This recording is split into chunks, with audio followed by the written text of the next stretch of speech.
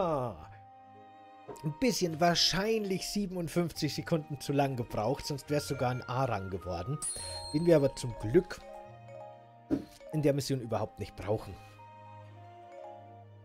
Sehr viel Loot haben wir immerhin. Das ist gut. Und Geisterkleider. So, so. Das Outfit für Feen haben wir bekommen. Für unsere Feen. Und neues Kostüm für Zelda. Skyward Sword Zelda. Skyward Sword Zelda fand ich eigentlich auch nicht schlecht. Die fand ich irgendwie auch cool. So, jetzt gucken wir mal. Ein Eispfeil hier auf dem Feuerring. Und hier gibt es jetzt eine neue Waffe für Link. Die letzte Link-Waffe, die noch fehlt und mitunter vielleicht die verrückteste Waffe im ganzen Spiel.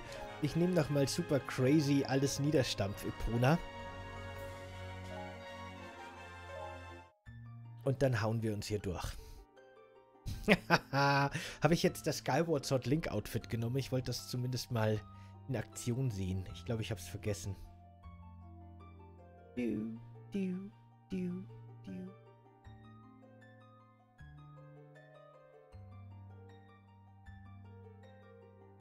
Achso, ich kann schon Plus drücken. Machen wir das mal. So, Epona. Niedertrampelmodus aktiviert.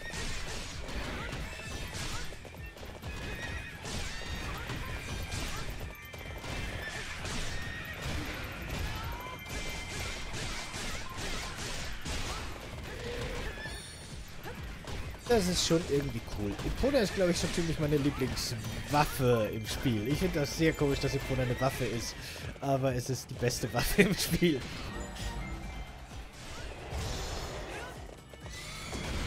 Oh, der ging leider ein bisschen daneben. Ah, oh, da schießt schon wieder irgendwie, da schießen schon wieder so nervige Pflanzenmäuler durch die Gegend. Die muss ich ausfindig machen, aber erst machen wir sie hier fertig. Das sieht jetzt vielleicht nicht besonders episch aus, aber es funktioniert halt einfach super gut, wenn man das so macht. Deswegen mache ich das jetzt auch. Ah! Okay, weiter geht's. Dankeschön. Wird zum schmerzlos. Okay, jetzt schnappen wir uns mal die eigentlichen Ziele, bevor wieder irgendwas Schreckliches passiert.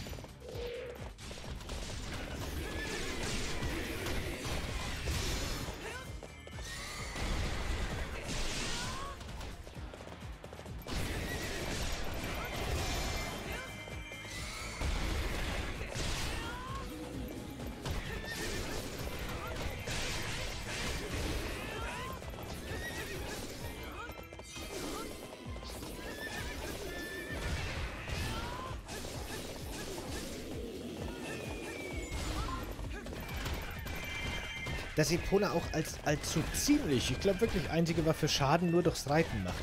Und damit kann man sogar Grasbüssel, Büssel, Glasbüssel kann man sogar zerstören damit. Das ist so super. Das heißt, man muss nicht stehen bleiben, um Gras zu schneiden, sondern macht das ganz einfach im Vorbeilaufen und nimmt gleich alle Herzchen, äh, Tränke und alles mit. Es ist einfach super. Epona ist Beste. Beste. Aber das ist sowieso klar.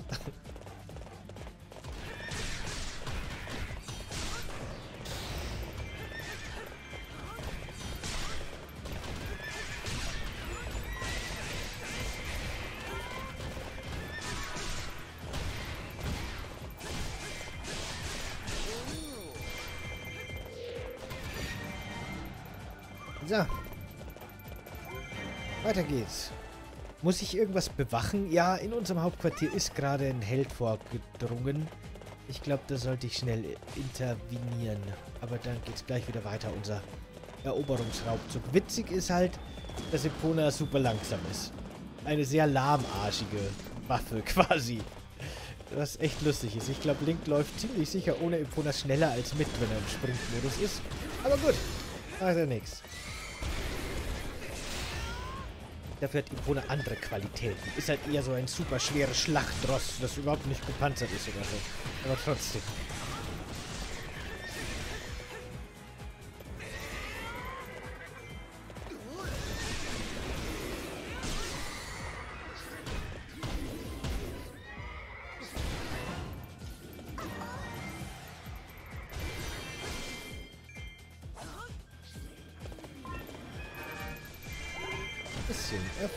Erfolgreich, aber ein paar Energieleistenträger haben wir noch hier in der Basis. Die sollten wir noch kaputt hauen.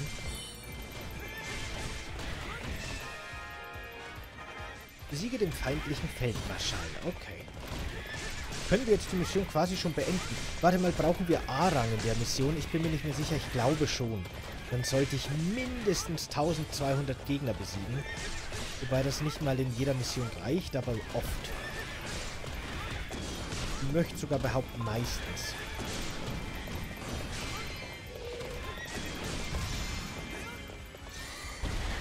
Das heißt, ich werde noch ein paar Festungen auslernen. Ich gehe jetzt mal dahin, wo diese blöden Blumen die ganze Zeit ihre Artilleriebeschießung hier durchführen. Die nerven.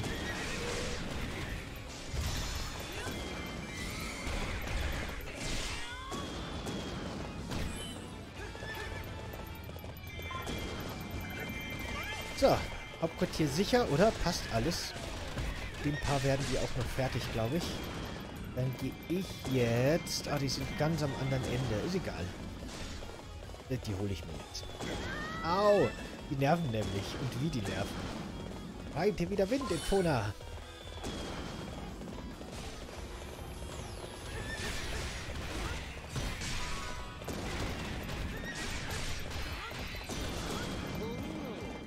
Komm, den, den holen wir uns noch später. Aber jetzt erstmal die nervigen Blumen weghauen. Hey, jetzt hau doch ab, Mensch. So, die Basis erobern wir schnell. Dann müssen wir aber noch schnell zu einer anderen hoch.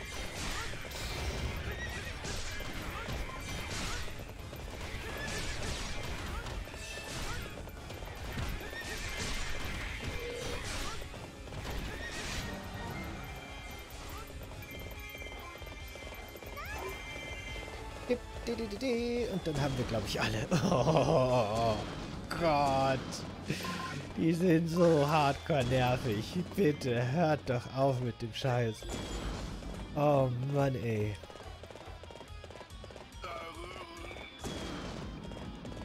Was denn mit unser Hauptquartier schon wieder belagert? Nee, eigentlich nur von Minions, glaube ich.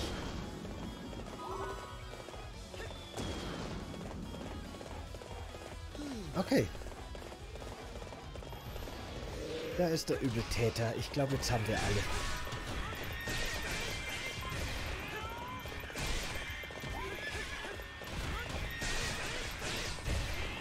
Ich hätte ja insgeheim so ein bisschen gehofft, dass in der Nintendo Direct jetzt irgendwie gesagt wird, und dieses Spiel ist ab jetzt sofort verfügbar. Und dann hätte ich das noch gespielt, gleich heute im Stream. Das hätte schön gepasst. Aber so war es dann nicht. Ich meine, eins, dieses Exit the Gungeon, kommt ja dann heute noch. Oder gibt es jetzt vielleicht schon, ich weiß es nicht.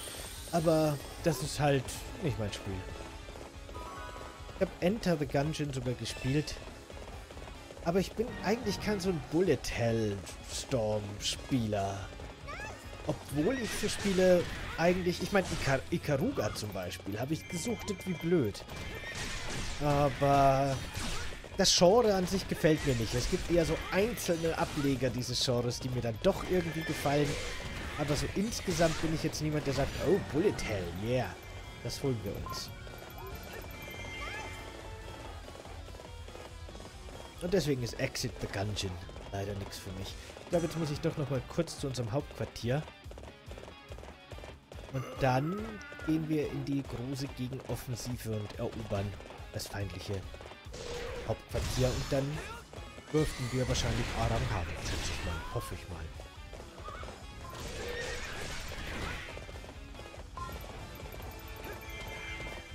Tü, tü, tü, tü.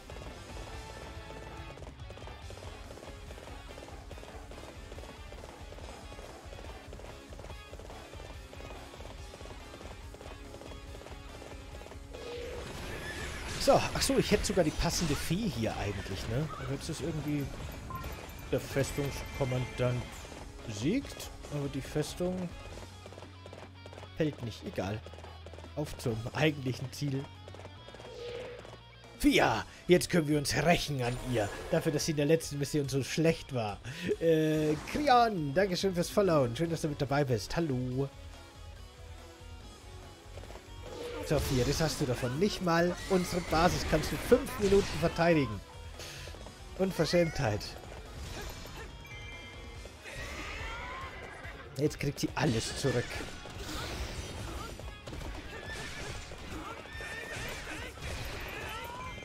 Epona dreht komplett durch. Ich kann sie nicht mehr halten. Oh Gott. Wo ist denn eigentlich... Ah, da ist sie. Okay, gut.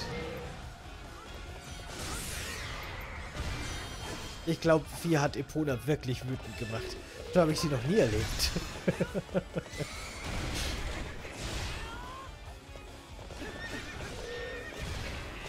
so kenne ich die gar nicht.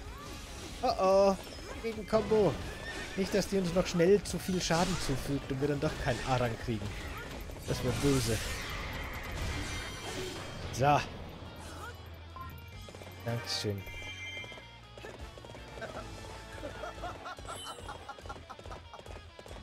Da freut er sich, der Gerahim. Ja, Arang, perfekt. Puh. Auf Dauer nervt Eponas Hufgetrampel ein wenig. Das ist ähnlich wie der, der Herzchen-Sound wahrscheinlich.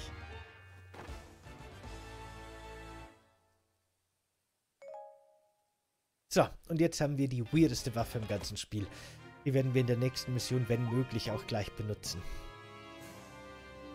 Die große Fee nämlich. Die große Fee wird hier als Waffe für Link gelistet. Ist aber eigentlich ein eigener Charakter, kann man eher sagen. Und sie ist super weird. Wie die großen Feen, glaube ich, in Zelda immer sind. Die haben eine Tradition, super weird zu sein. Die große Fee der Quelle.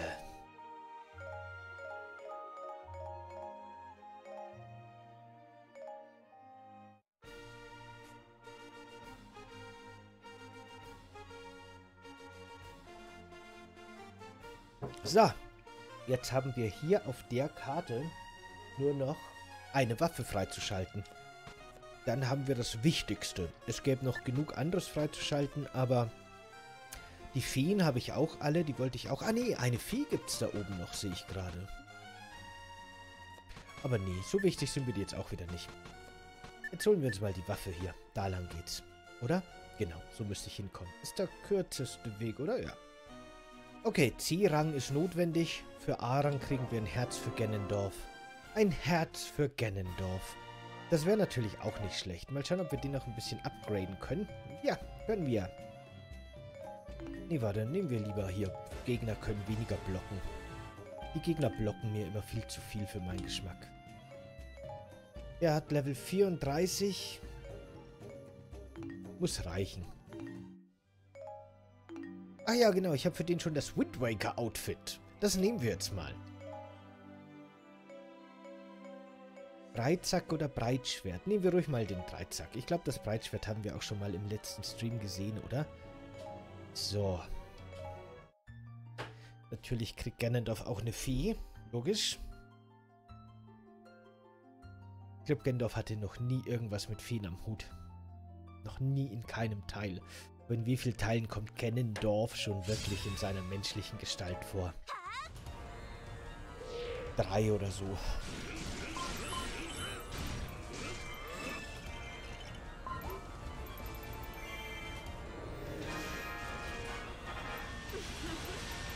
Der Dreizack ist ziemlich schnell. Ich glaube, Ganondorf ist quasi mit seinem Schwert, mit seinem Breitschwert, eher so der super langsame Reinhau-Charakter, aber mit seinem Dreizack ist er Turbo.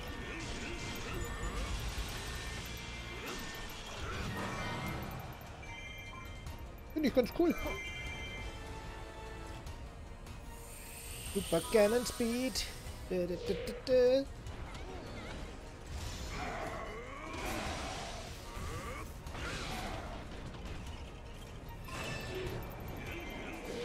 Da ist Grimmerhin schon wieder. Den treffen wir jetzt irgendwie in jeder Mission. Ob nun als Verbündeten oder Feind. Aber irgendwie ist der immer mit dabei.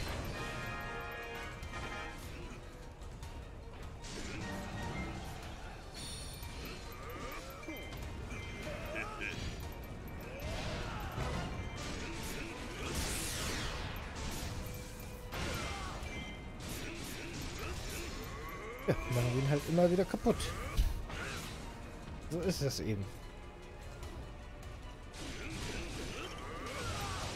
Ach, ich bin jetzt wirklich gespannt. Ich gehe jetzt wirklich davon aus, sage ich mal ganz vorsichtig, weil mittlerweile glaube ich gar nichts mehr. Aber ich halte es für durchaus möglich, das ist gut, so, so formuliert es ist besser. Ich halte es für durchaus möglich, dass jetzt nächste Woche tatsächlich die große Nintendo Direct für 2020 ansteht. Ähm, das wäre nämlich schon mal echt interessant, was jetzt eigentlich 2020 für die Switch noch so geplant ist. Darauf warte ich jetzt schon seit Monaten. Und da wäre ich echt gespannt. Ich hoffe auf einige coole Neuankündigungen. Ich befürchte, dass wir hauptsächlich aufgewärmten Wii U-Kram kriegen. Was ja grundsätzlich nicht schlecht ist, aber für mich, der schon eine Wii U hatte, mit allen fünf interessanten Spielen, die es für das Ding gab, ähm, hätte halt lieber gern neue Sachen. Aber gut, schauen wir mal. Vielleicht sind ein paar interessante Sachen dabei. Ich hoffe es.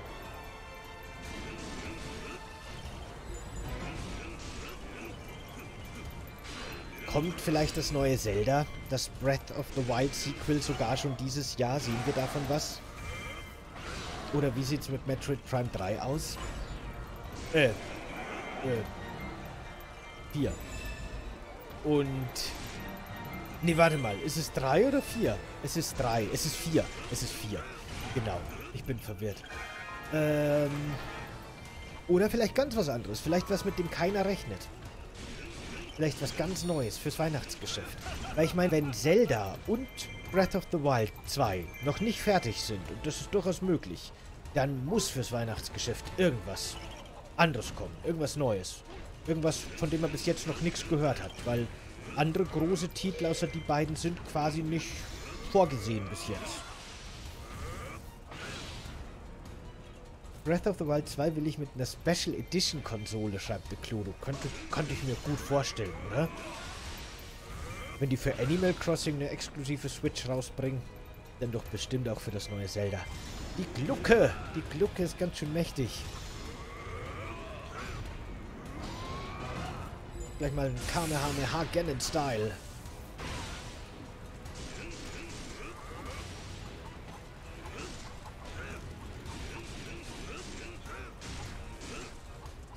Die Glucke ist echt ziemlich krass. Meine Güte.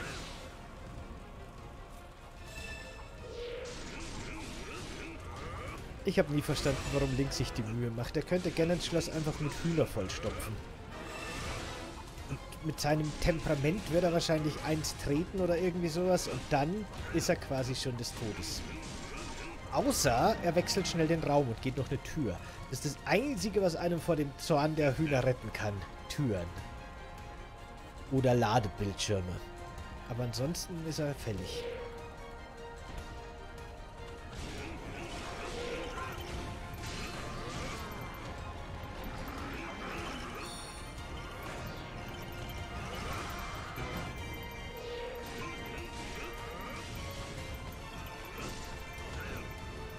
Epische Musik.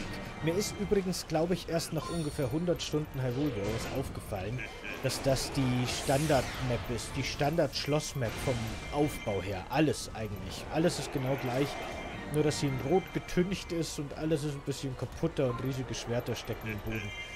Aber ich dachte immer, das wäre eine eigenständige Map, aber das stimmt überhaupt nicht. Das gleiche Map nochmal in Rot. Einfach nur recycelt. Quasi im Story-Modus die erste und die letzte Map. Einmal in grün und einmal in rot.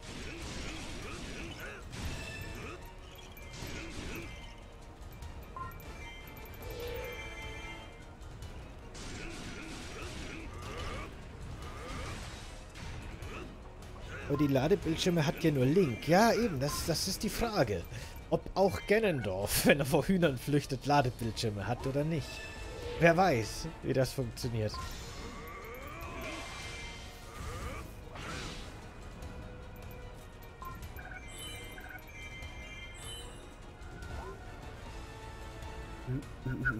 Was muss ich eigentlich machen? Ich muss da vorne irgendwen kaputt hauen. Okay, los geht's. Hauen wir irgendwen kaputt.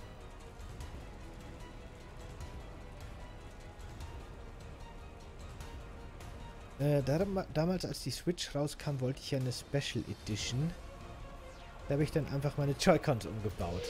Ja, warum nicht? Macht man sich seine eigene Special Edition.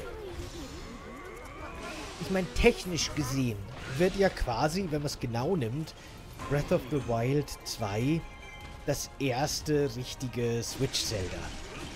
Weil Wind Waker war ja das Wii U-Zelda. Das zählt ja im Grunde gar nicht. Insofern könnten die für das erste richtige Switch-Zelda schon auch eine erste richtige Zelda-Switch rausbringen. Könnte ich mir gut vorstellen.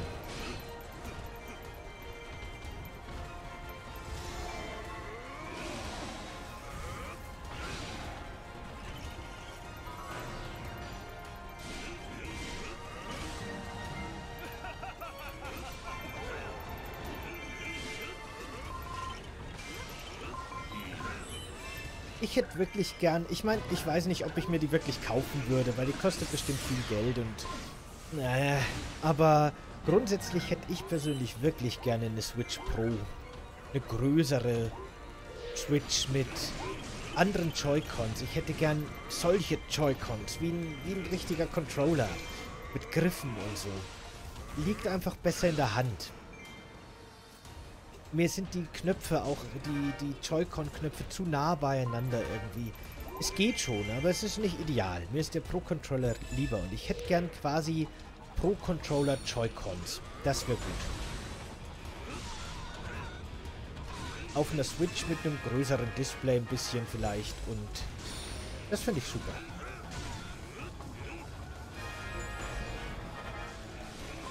Solange die nicht wie beim New 3DS anfangen, irgendwie mehr Prozessorleistung rauszubauen und dann kommen Spiele, die wieder nur exklusiv auf der neuen Switch laufen oder so.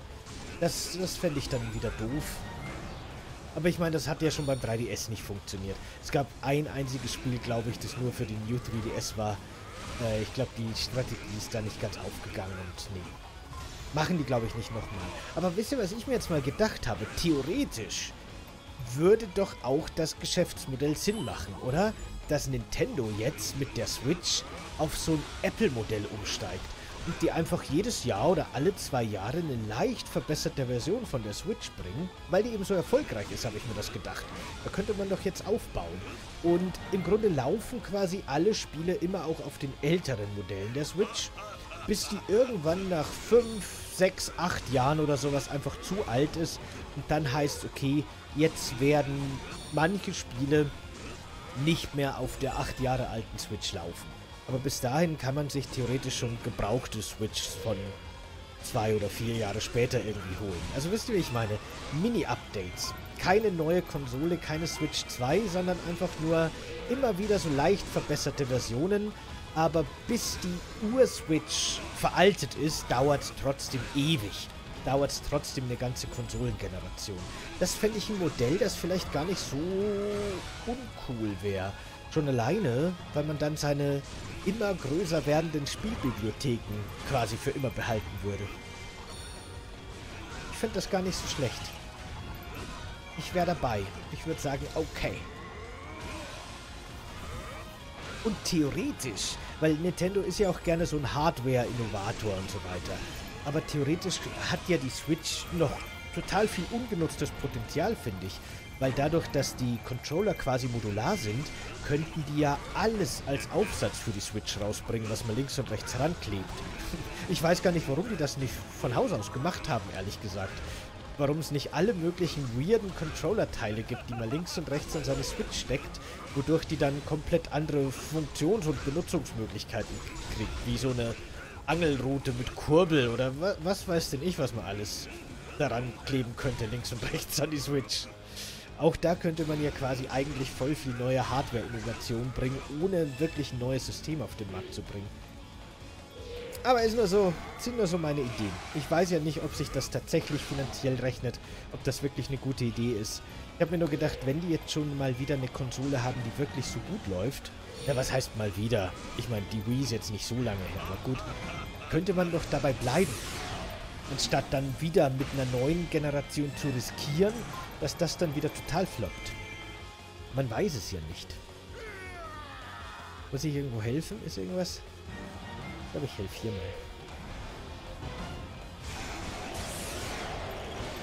Also ich wäre dem Konzept auf jeden Fall nicht abgeneigt.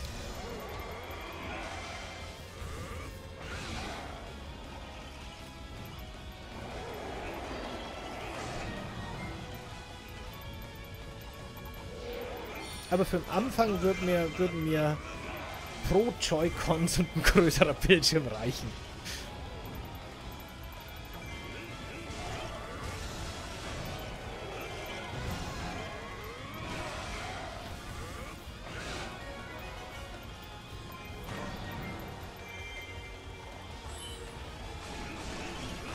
Warte mal kurz, ich muss kurz in den Chat schauen. Ich habe schon wieder, ich bin schon wieder so hinten nach.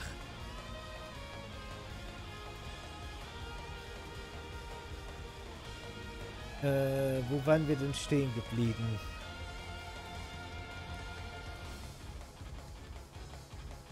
Pro Controller Joy-Cons gibt's ja quasi. Nur halt ohne kabellos. Hä? Wirklich? Wie jetzt? Kenne ich, glaube ich, nicht. Wobei, doch, von, von irgendeinem Dritthersteller gibt es, glaube ich, sowas, oder? Aber nicht offiziell von Nintendo. Müsste ich mal schauen, ob da die Qualität stimmt. Aber grundsätzlich stimmt. Habe ich auch mal irgendwo was gesehen. Äh, ich würde wetten, dass die Switch Pro nur für an den TV ist. Da die Switch Lite ja only portable ist. Ha. Hm, das wäre komisch, Katka. Ich kann, der, der Gedanke macht schon Sinn, aber das wäre seltsam, finde ich.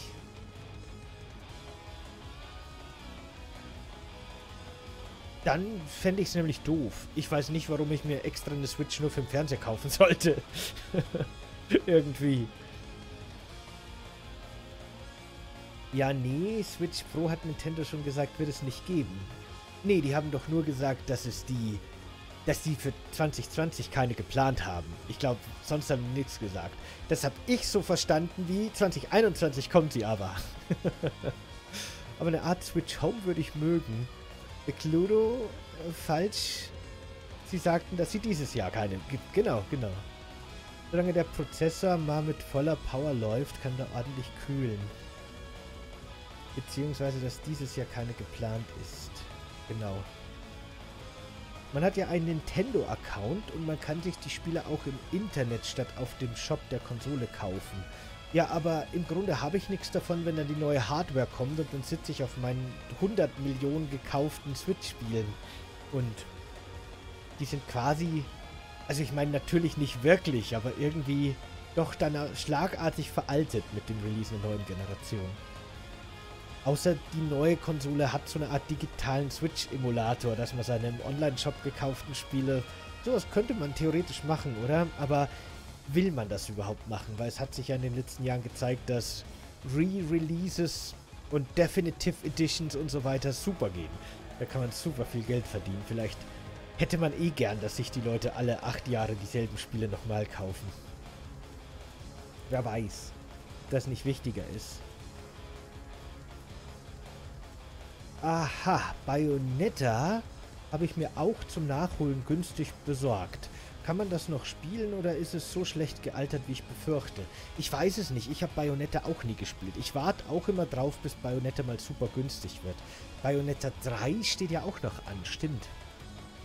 Aber da bin ich auch nicht so der der, die Zielgruppe dafür. Spielt sich wie Devil May Cry, schreibt Metatron.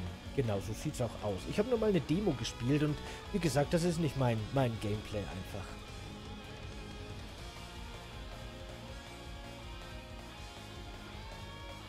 Äh, ja, würde es auch nicht verstehen, aber kenne einige Leute, die gerne eine hätten für Only TV.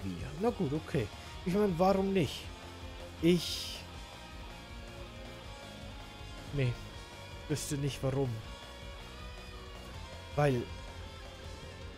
Nee. Keine Ahnung. Aber gut. Warum nicht? Ich meine, man kann seine Switch doch einfach in der Docking Station lassen. Dann hat man eine Only für TV. Quasi. Äh, äh, ja. Und Chess statt Metal. Hab mal eine GameStar Review gelesen. Naja, stürz mich demnächst mal drauf. Ach so, der Soundtrack von Bayonetta. Ja, genau. Stimmt.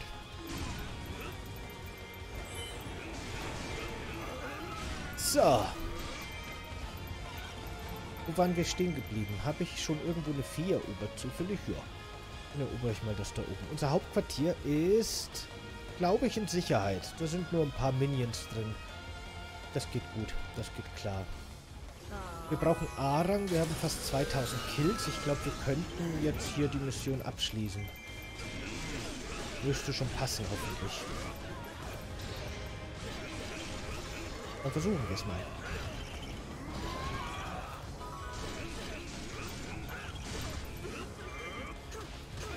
Der hat sich mit den Hühnern verbündet. Verdammt.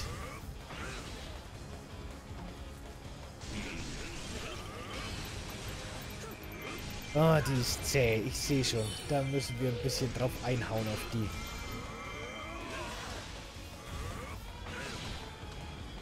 Aber das kriegen wir schon hin.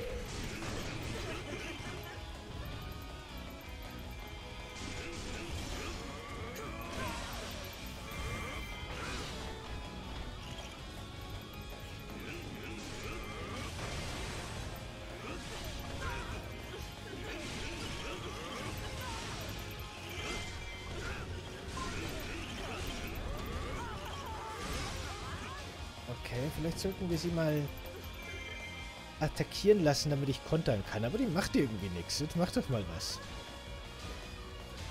Ah, die geht mir auf die Nerven. Machen wir lieber einfach offensiv weiter. Ich glaube, das ist die bessere Taktik hier. Ah, jetzt macht sie was.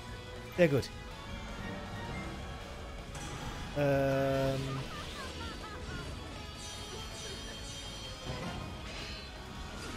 Mist, zu langsam. Naja, egal. Dann mache ich doch lieber wieder in der Offensive weiter. Das dauert mir viel zu lange hier.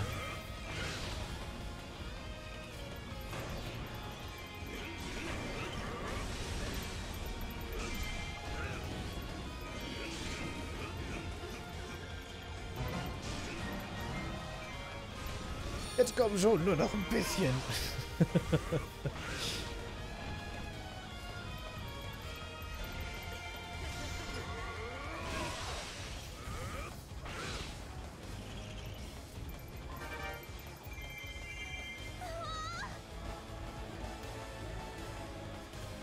Optisch sollte man halt nicht mehr als gehobenes 360-Niveau erwarten.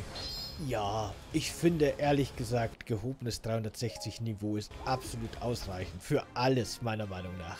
Ich finde, mit der Generation haben Videospiele eine Optik äh, gefunden, die für mich absolut ausreichend ist. Und PlayStation 4 und Xbox One ist die jetzt noch gepolischter, noch schöner, passt. Hätte es für mich gar nicht gebraucht, aber okay. Aber ich war sowieso nie der, der Grafik Mensch, mir ist es so wurscht, wie Spiele aussehen, ehrlich gesagt. Es gibt manchmal Stile, die ich hässlich finde, aber Grafik ist mir in der Regel eher ziemlich wurscht. Das reicht mir, sagt Felix auch. Grafik ist nicht alles, vor allem wenn das Gameplay für den Arsch ist. Ja, das auf jeden Fall. Ich meine, Graf also mir geht es zumindest immer so, wenn ein Spiel echt gut aussieht, dann merke ich das oder nehme das ungefähr fünf Minuten bewusst wahr. Wenn ich das Spiel starte, dann denke ich mir, wow, das sieht schon verdammt gut aus. Und dann spiele ich und dann bin ich im Flow und im Gameplay und dann nehme ich irgendwie eh nicht mehr bewusst wahr, was ich sehe. Und dann kann das Spiel von mir wie Kraut und Rüben aussehen. Das ist mir eigentlich ziemlich wurscht. Ähm, erst... Ja genau, nur in so ruhigen Momenten manchmal, dann sieht man wieder irgendwo eine Aussicht und denkt sich, oh, das sieht schon toll aus. Aber in über 90% der Zeit bin ich halt im Gameplay und dann interessiert mich eigentlich wirklich nicht, wie das Spiel aussieht. Aber ich habe schon öfter gesagt, dass ich einfach auch... Oh oh, mitten auf Level 18. Das könnte jetzt problematisch werden. Ich versuche es einfach mal. Dass ich einfach auch durch und durch Gameplay-Mensch bin. Story kommt bei mir erst mit viel Abstand nach Gameplay an zweiter Stelle. Und dann kommt irgendwann mal Grafik. Gameplay ist alles für mich im Grunde. Ich glaube, vor Grafik kommt Design noch. Das sollte man trennen, finde ich. Okay. Wo sind wir? Schon wieder zwei Gegner. Naja. Besiege die Feldmarschäle. Marschelle. Die Feldmarschelle. Das könnte auch irgendwie so eine Blume oder irgendein Kraut sein. Oder ein Vogel? Hier sehen wir die Feldmarschelle in freier Wildbahn.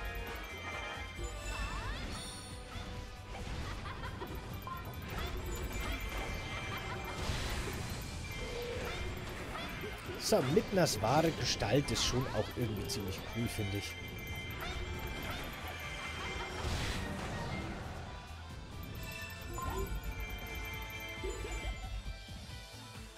Ich muss wahrscheinlich wieder unsere Basis verteidigen, wie blöd. Wetten? Ja, ja, ich sehe schon, da sind schon wieder, da ist schon wieder Action in unserer Hauptbasis. Das wird wieder eine von diesen Missionen. Ich hoffe, dass die Energieleistengegner für unsere Level 18 Midner nicht zu unsterblich sind, weil sonst könnte das hier sehr frustrierend werden. Aber vielleicht levelt sie auch hoch ohne Ende. Mit ein bisschen Glück kriegen wir einige Level-Ups. Schauen wir mal. Ah ja, da ist schon das erste Level-Up. Das uns nämlich auch immer wieder einen neuen Special-Angriff beschert. Und allein deswegen sind die echt nützlich und heilen tun sie auch natürlich. Es geht, es geht. Wir werden mit denen fertig. Wenn das alles ist, was uns die Mission hier zu bieten hat, an Gegnern, an Schwierigkeitsgrad, dann schaffen wir das, glaube ich. Das könnte ähnlich brenzlig werden wie mit Zelda in der vorherigen Mission, aber es ist möglich.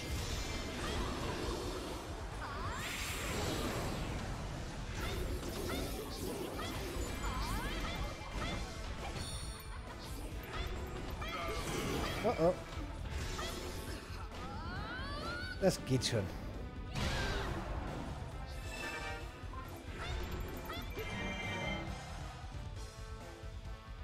So.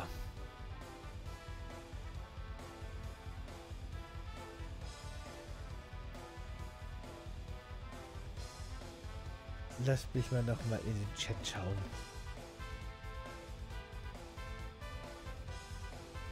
es hat länger gedauert, aber da bin ich wieder. Es gab Lasagne. Na, bei Lasagne kann man sich schon mal Zeit lassen. Ah, ich krieg auch Hunger. Ich glaube, ich muss vielleicht doch noch was essen.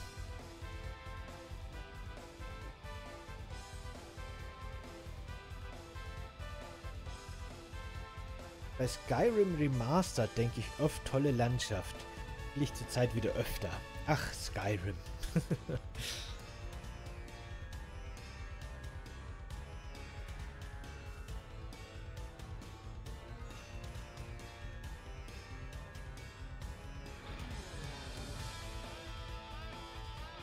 aber wenn man zum, wenn zum Beispiel jemand Devil May Cry 5 gespielt hat, könnte man von Bayonetta etwas enttäuscht sein. Ja, ich meine, es gibt Menschen, für die ist Grafik wichtig und dann könnte das durchaus sein, das stimmt schon. Das ist... Das kann ich teilweise echt total schwer einschätzen, ob ein Spiel eine gute Grafik hat oder nicht, weil ich das Teil... Ich, ich, ich, keine Ahnung, ich glaube, ich kann das nicht so gut beurteilen oder nicht so gut wahrnehmen oder so, keine Ahnung, aber oft erzählen mir Leute irgendwas von schwammigen Texturen oder so und ich denke mir, ich habe keine Ahnung, von was ihr redet. Ich weiß, ich habe das Spiel 120 Stunden gespielt, mir ist keine Textur aufgefallen. es ist manchmal einfach ein bisschen... Oh, aber so, so ist es halt. Man ist halt unterschiedlich. Man ist unterschiedlich? Genau. Der echte Tobi macht wieder eine fette Abo-Verschenk-Aktion. Dankeschön, der echte Tobi. Echter Tobi, nicht der echte. Oder einfach nur Tobi. Dankeschön für die vielen verschenkten Abos an die Gang.